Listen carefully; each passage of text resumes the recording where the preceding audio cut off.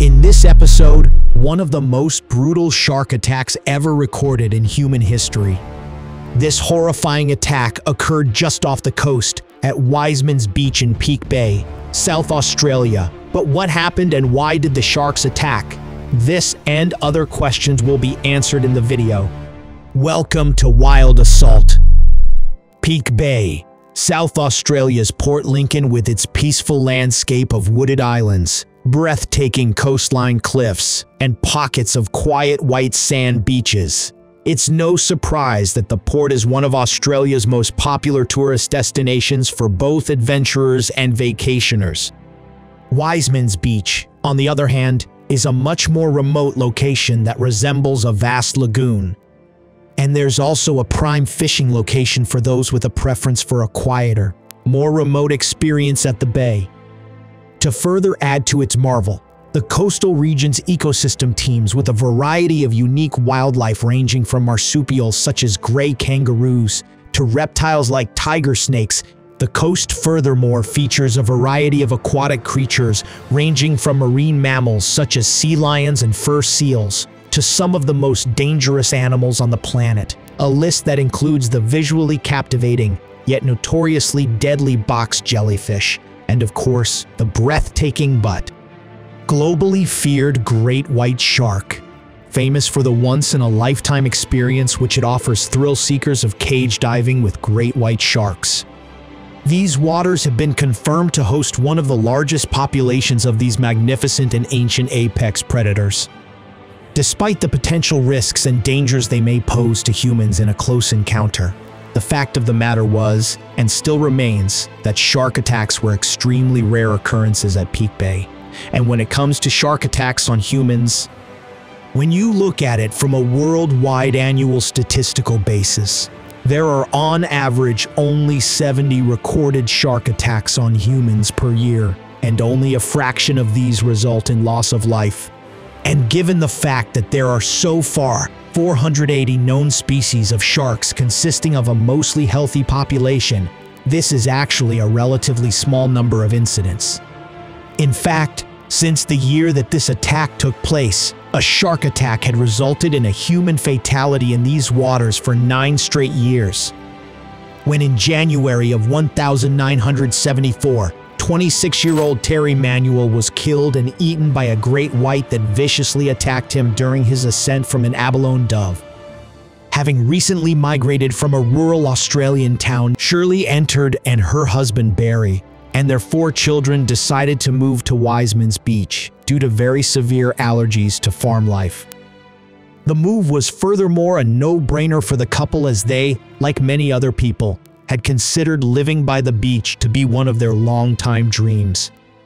On March 3, red of 1985, the family had decided to hit the beach for the afternoon with a good friend of Shirley and Barry's Keith Coventry as they situated themselves on the beach. The trio of adults spontaneously decided that they would go snorkeling for some scallops after ensuring the kids were settled down at the beach. Shirley and Barry inform the kids that they won't be too long, nor will they be too far offshore. The children were already far too engaged in their beach games, nonchalant to respond with quick and attentive nods and rushed goodbyes. Unaware, of course, of the horrors soon to come after collecting their scallops, Barry and Keith head to shore and patiently wait for Shirley to finish scanning the sea bottom. The two men get lost in conversation and joke with one another, and the kids bragging about who managed to collect more scallops than the other.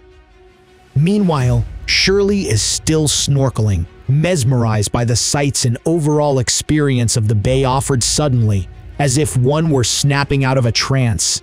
Shirley realizes she's collected way more scallops than she'd originally intended to, which is when she began to slowly turn her body and head back to shore toward the family an approximately 22 foot and highly famished great white shark emerges out of the depths of the deep blue sea. It began scanning for movements with its jet black eyes and remarkable hearing ability, which allows it to sense low frequency vibrations in the water, such as that of a wounded fish, which upon detection would instantly set off its curiosity to its maximum capacity. Given the animal's level of hunger, it's important to note that there are two kinds of shark attacks. In other words, there are two primary ways that shark attacks are categorized. The first kind is a provoked attack. And yes, there have been several documented instances where humans have provoked sharks and then unsurprisingly attacked as a result. And then there's the second kind, which are known as unprovoked attacks. In this circumstance, the shark attacks a human out of curiosity, or in rare cases, with the intention to consume the great white continues to swim in Shirley's direction as it desperately scans the water for movement. And as it got closer and closer, it finally spots a figure splashing and swimming near the surface. The shark locks its sights on Shirley as she swims slowly towards Barry, Keith and the family blatantly unaware of the impending danger. In a scene straight out of a horror movie, the shark takes aim and preaches powerfully, launching Shirley several feet in the air with her torso waist deep in its jaws. The beast lands on the water with a big splash, clamping its jaws down even harder to secure its grip on her body as it landed, crushing helpless Shirley's torso with its immense bite force and begins viciously shaking his head from side to side. Technique which most sharks use the commonly ripped limbs, thick blubber, and flesh off of their prey. The water around Shirley now turns blood red. The men and the kids who at this point are frozen from shock watched helplessly as the beast continued its rampage on poor Shirley. Barry suddenly snaps out of this frozen state and attempts to jump into the water to try to save his dying wife. For he was instantly held back by his friend Keith and the kids as it was clearly nothing he could have done to save her. And as everyone was holding him back, Barry begins yelling hysterically, She's gone. She's gone.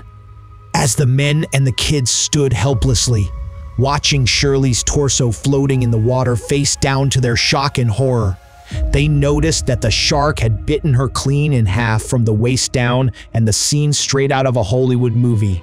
The Great White then suddenly returns, and in front of the eyes of her traumatized family bites Shirley's head hanging off of her body and swiftly turns towards the horizon and swims off into the ocean. Death.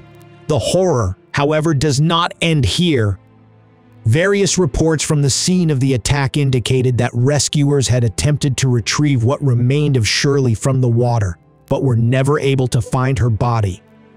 Despite days of intense search efforts to help salvage at least the piece of Shirley and for her family, there was no sign of her torso at the scene of the attack or around the vicinity whatsoever, and the search eventually had to be called off.